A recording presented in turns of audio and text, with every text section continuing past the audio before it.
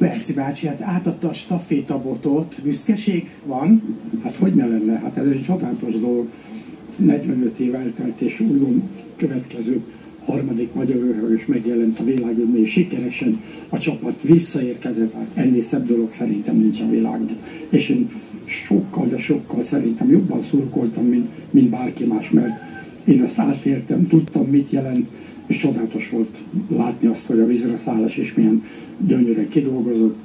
Gratulálok tiszta szívből mindazoknak, akik segítették ezt az ürepülés végrehajtását. És nyilván Kapu Tibornak, magyarként pedig forró lelés.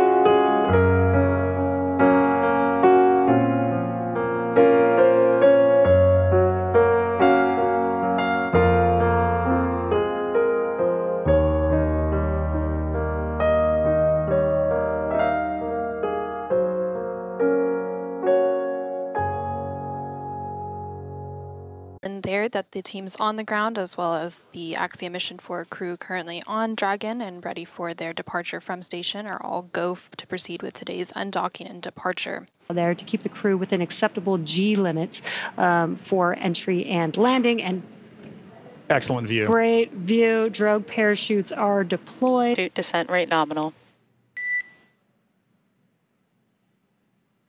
Copy. Main chute descent rate nominal a thousand uh, meters for Dragon. We copy 1,000 meters. Great visual confirmation as well as those comms that the four main parachutes have deployed.